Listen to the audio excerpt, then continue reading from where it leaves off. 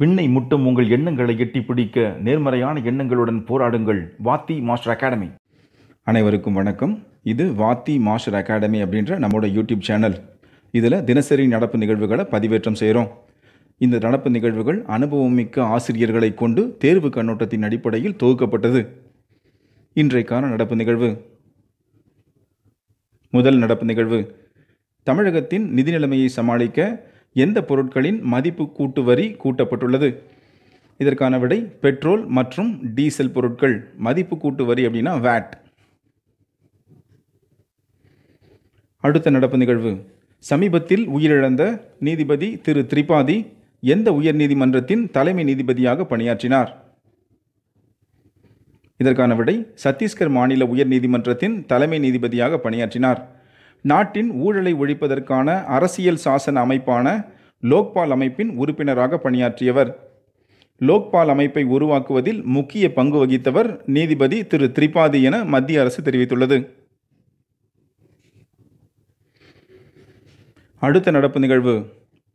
FIH pro hockey league இரண்டாவது season ஆடவர் மற்றும் மகளிர் போட்டிகள் எப்போது நடைபெற உள்ளது இதற்கான விடை ரெண்டாயிரத்தி இருபதாம் ஆண்டு ஜனவரி முதல் ஜூன் மாதம் வரை நடைபெறும் என்று தெரிவிக்கப்பட்ட இந்த போட்டி கொரோனா நோய் தொற்றின் காரணமாக ரெண்டாயிரத்தி இருபத்தி ஒன்றாம் ஆண்டு ஜூன் வரை நீட்டிக்கப்பட்டுள்ளது.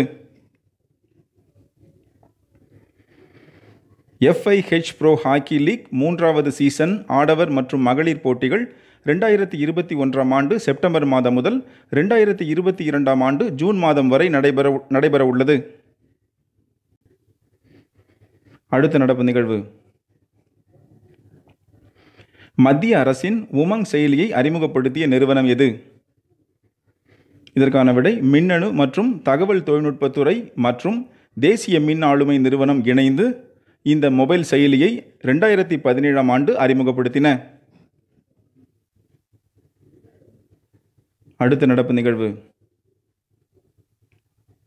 இந்திய ரியல் எஸ்டேட் டெவலப்பர்கள் சங்கங்களின் கூட்டமைப்பின் பெயர் என்ன? இந்திய ரியல் எஸ்டேட் டெவலப்பர்கள் சங்கங்களின் கூட்டமைப்பின் பெயர் என்ன? இதற்கான விடை கிரெடாய். இதற்கான விடை கிரெடாய். இதன் சென்னை கிளையின் புதிய தலைவராக பதம் துகார் நியமிக்கப்பட்டுள்ளார்.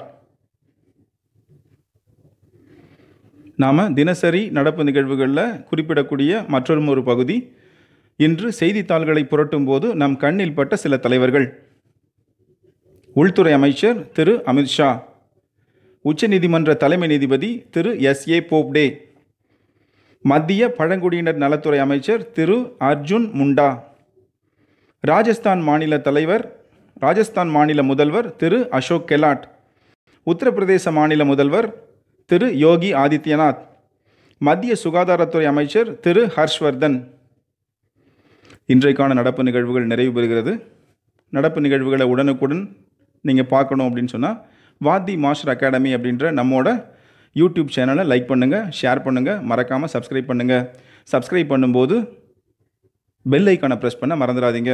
அப்போ தான் எப்போல்லாம் நம்ம நடப்பு நிகழ்வுகளை பதிவேற்றம் செய்கிறோமோ அந்த பதிவுகள் உங்கள் இல்லங்கள் தேடி வரும். நன்றி.